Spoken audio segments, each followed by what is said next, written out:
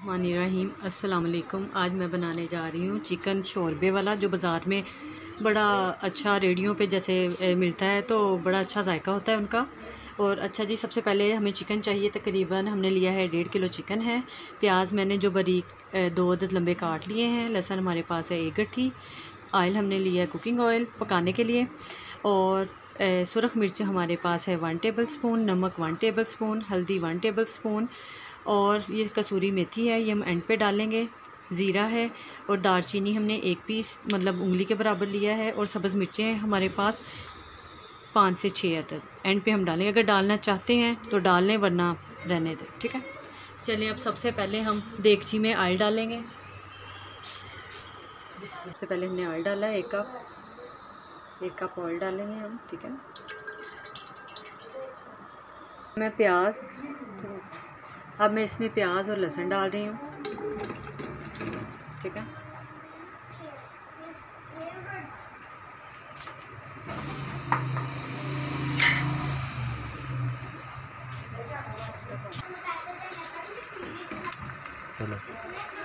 Sorry नाम तेरा दम्मा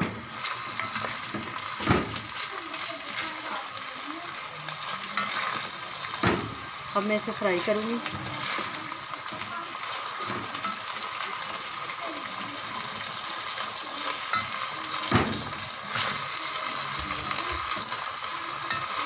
ठीक है? हम इसे लाइट ब्राउन करके फिर इसमें चिकन डालेंगे। ये देखें, ये चार्ट ये देखें। ये हमारा थोड़ा सा लाइट ब्राउन होना स्टार्ट हो चुका है। अभी थोड़ा सा मोर करेंगे इसे। फिर उसके बाद हम इसमें मसाले और चिकन को डालेंगे, ठीक है? देखें अब ये हमारा प्याज ब्राउन हो चुका है, ठीक है? ये देखें। अब मैं इसमें चिकन डालने जा रही हूँ, ठीक है?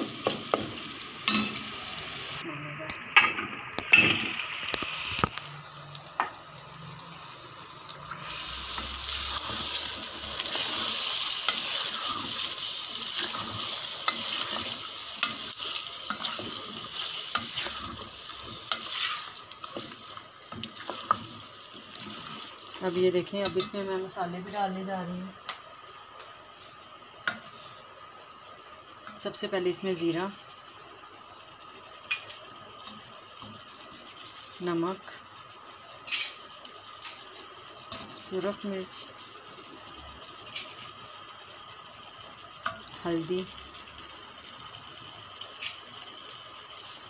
और अब मैं इसे थोड़ा सा हल्का सा एक दो बार चम्मच चलाऊँगी, फिर उसमें मैं पानी डाल के पाँच मिनट के लिए ढक्कन दे के रख दूँगी। फिर उसके बाद हम इसे भून लेंगे। इसका टेस्ट बहुत अच्छा आप रोगनी नान के साथ खाएँ, बहुत मज़ेदार, बिल्कुल बाज़ार वाला टेस्ट है ये। जो अक्सर रेडियो पे जी चिकन शोरबा स्पेशल बिल्कुल ये इसी तरीके से बनाया जाता है, और इसमें कोई मसाले नहीं। एक कप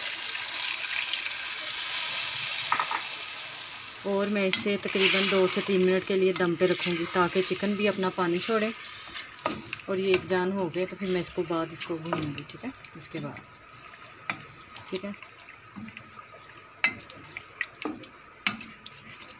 ये आप साइड से ही उतारते जाएँ, इसके साथ जायका बड़ा अच्छा आता है, ठीक है? अब मैं इसे दो से तीन मिनट के लिए दम पे रखूँगी, ठीक है? ढक्कन देके।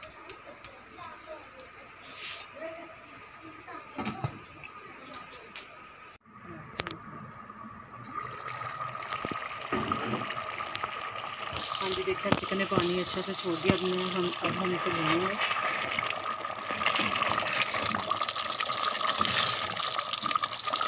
और कभी आपने ऐसे ऐसे करके चमचा नहीं मारना। ऐसे गुलाई में हमेशा सालन को हिलाना, ठीक है?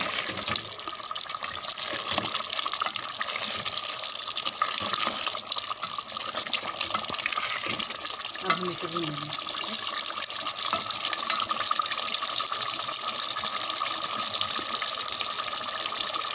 छोड़ने लग गया अब मैं इसके अंदर ये दालचीनी ऐड कर रही हूँ, ठीक है?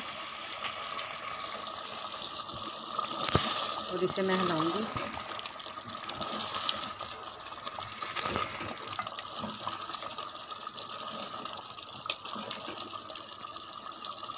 देखिए, बड़ा अच्छा सा रेडी हो गया हमारा मसाला ये देखिए।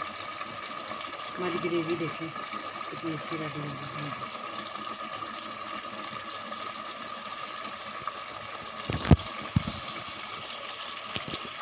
अब मैं इसमें ये कसूरी मेथी भी ऐड करने जा रही हूँ।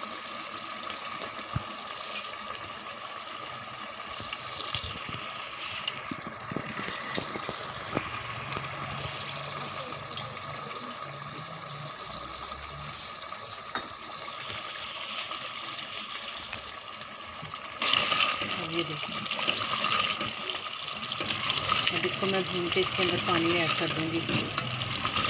ठीक है? ये देखिए हमारा चिकन। देखिए कितनी अच्छी ग्रेवी रेडी हो चुकी है ये देखें, कोई हमने वेट नहीं लगाया, कोई हमने ग्राइंडर नहीं किया मसाला। बड़ा अच्छा देखें। ये देखें देखें और बड़ा अच्छा छोड़ने लगी है। ये देखें।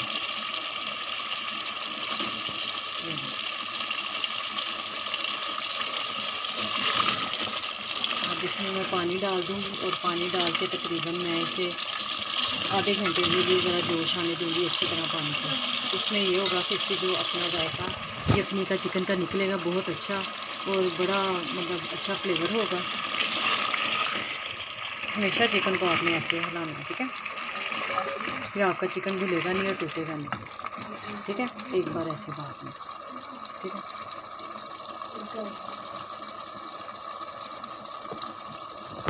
हाँ जी देखें ये हमारा चिकन अब अच्छे से भून गया है। ये देखें, देख रहे हैं आप? ये देखें। अब इसमें पानी ऐड करने लगी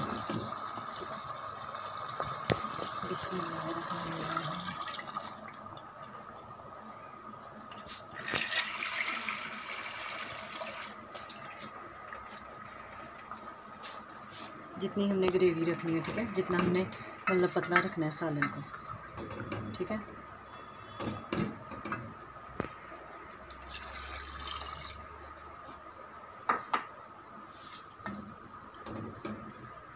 अब ये देखिए हमारा सालन शोरबा, चिकन शोरबा रेडी है बाज़ारी। बड़ा अच्छा इसका टेस्ट और फ्लेवर है।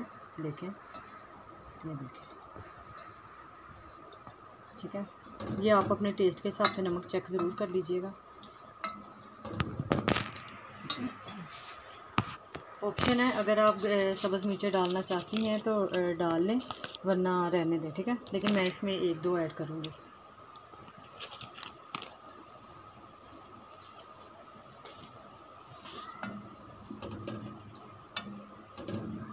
चलें आप ज़रा इसको पानी को उबाल आता है तो हम तकरीबन 10 से 15 मिनट तक इसे लाइट आँच पे ज़रा पकाएँगे, ठीक है? उसके बाद हम अभी डिश आउट करके आपको दिखाते हैं।